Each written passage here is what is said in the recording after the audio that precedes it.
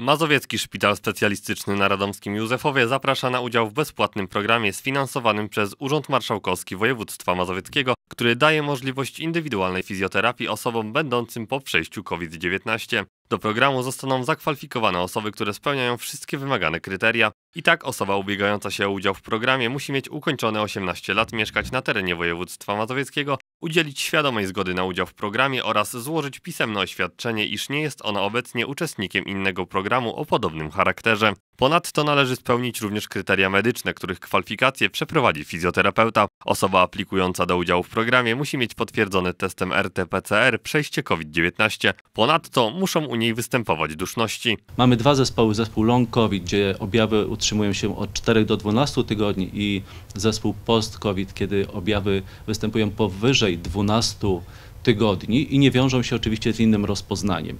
Więc te kryteria muszą być spełnione. Pełny cykl fizjoterapii będzie trwał 6 tygodni, a każdy proces będzie dostosowany do stanu zdrowia pacjenta. Wszystko zależy od pacjenta, bo ćwiczenia będą dosowane na podstawie wyników badań, czyli na podstawie wyników badań czynnościowych.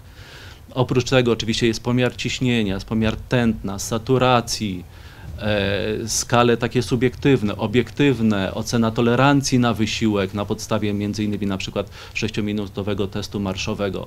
Więc na tej podstawie będzie ustalony dla pacjenta program treningowy. Program rozpoczyna się wizytą, na której przeprowadzane są wspomniane badania. Te same pomiary zostaną wykonane również na sam koniec terapii, a otrzymane wyniki zostaną poddane szczegółowej analizie. Chcemy poprawić wydolność organizmu pacjenta, e, poprawić siłę mięśniową, poprawić wytrzymałość, zmniejszyć duszność, e, poprawić tolerancję organizmu na wysiłek. To są te parametry, które nas fizjoterapeutów najbardziej interesują. Oprócz ćwiczeń wykonywanych podczas zajęć, pacjent otrzyma informacje o samej chorobie, porady, wskazówki oraz program treningowy do samodzielnego wykonywania w domu. Aby umówić się na wizytę, należy zadzwonić pod numer 48 361 32 32.